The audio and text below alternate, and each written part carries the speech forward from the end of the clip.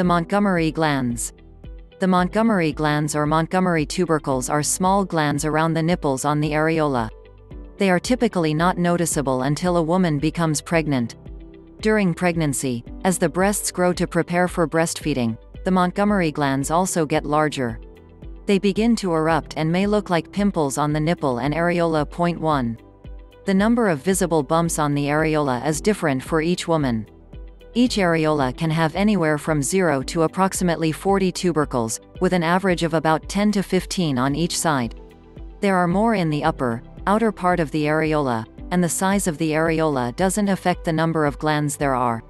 What Montgomery glands do. The Montgomery glands are a combination of milk glands and sebaceous glands. They can release a small amount of breast milk, but they mostly produce a natural, oily substance that cleans and lubricates the nipple and areola. This oily substance contains antibacterial properties. It helps to protect the breasts from infection by preventing the growth of microorganisms and germs. Point 1. The areolar glands are believed to play an important role in getting breastfeeding off to a good start, attachment, and bonding. They give off a scent that can help the newborn find the nipple and encourage the baby to latch on and breastfeed immediately after birth. Studies show that the babies of women with more areolar glands find the breast and begin breastfeeding faster than those with fewer areolar glands. More Montgomery glands are also associated with better newborn growth. Point 2 How to care for Montgomery glands. Since the Montgomery glands provide a natural moisturizer for your nipples, you don't need to use lanolin or any other nipple cream to moisturize your nipples. Additionally, when caring for your nursing breast, be careful about the soaps and other products that you use.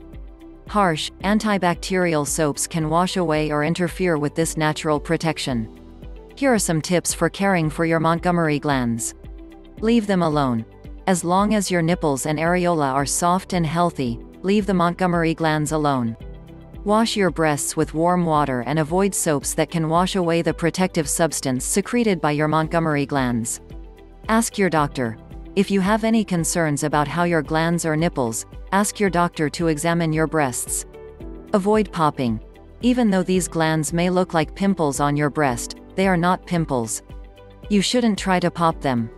Do not treat with acne medication.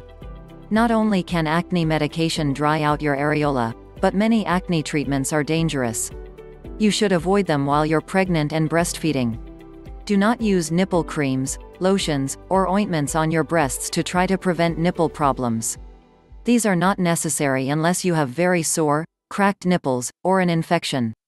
Some nipple creams can even make the problems worse. If you have a breast or nipple issue, talk to your healthcare provider before trying to treat the problem on your own. Point 3. Infection.